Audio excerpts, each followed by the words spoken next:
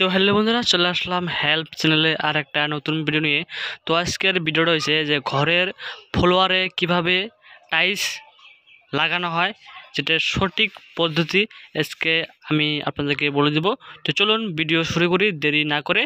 তো ভিডিও দেখার আগে আমার হেল্প চ্যানেলটাকে সাবস্ক্রাইব করে দেবেন, তার সঙ্গে একটি শেয়ার করে দেবেন। আজকের ভিডিওটা আমি মিউজিক দিয়ে শুরু করব, ঠিক আছে? তো এরকম যদি মিউজিক আপনারা চান ফ্রিতে নো কপিরাইট ভিডিও আমি ভিডিওর লিঙ্ক ডিসক্রিপশনে দিয়ে দেবো। আপনারা চাইলে দেখতে পারেন।